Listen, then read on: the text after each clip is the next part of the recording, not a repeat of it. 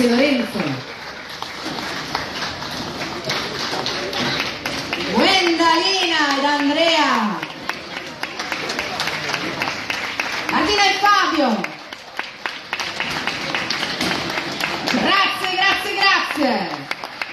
Grazie ragazzi per il vostro segue, avete interpretato la Romagna a 360 gradi e adesso andiamo ad interpretare